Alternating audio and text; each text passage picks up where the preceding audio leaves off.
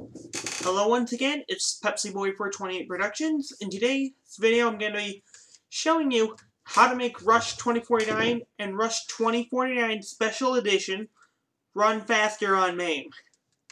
Okay, because by default, it, it's a slightly laggier than I like, so I'm using MAME UI 64 right here. So I'm going to right click on Rush 2049 or Special Edition.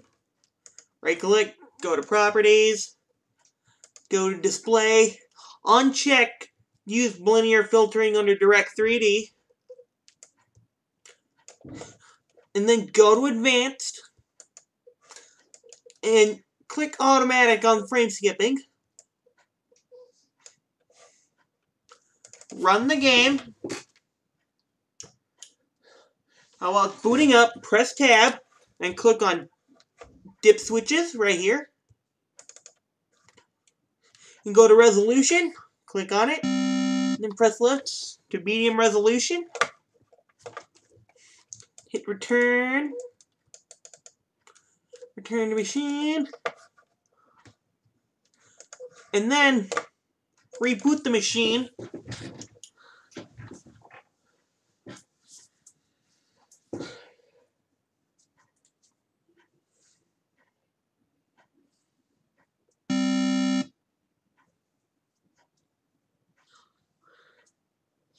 May have noticed that some aspects in a track mode are going to be glitchy, but it still runs.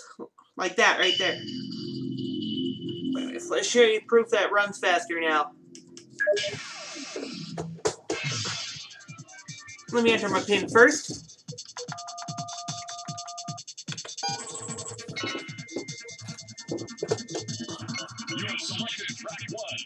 Okay.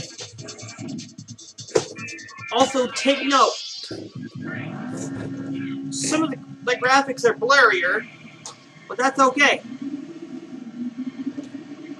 It's running good now, while skipping frames.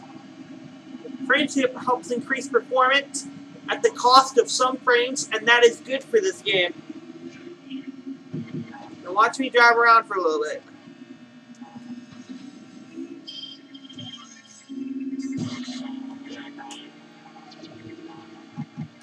Okay, see how much better it's running now in frame rate, terms of frame performance?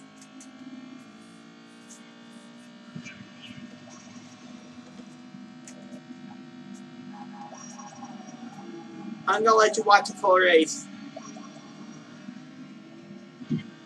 To show you that the frame rate performance has improved greatly.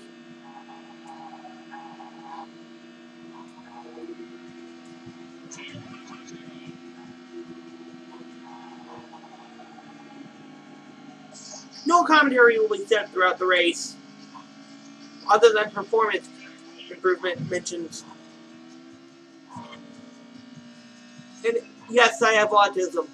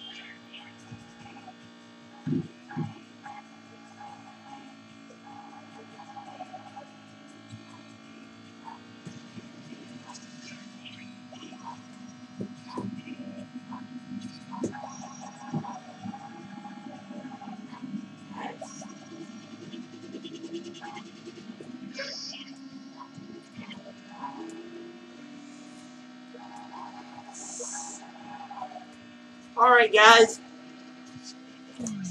I hope you found my tutorial helpful, and see you guys later. Bye.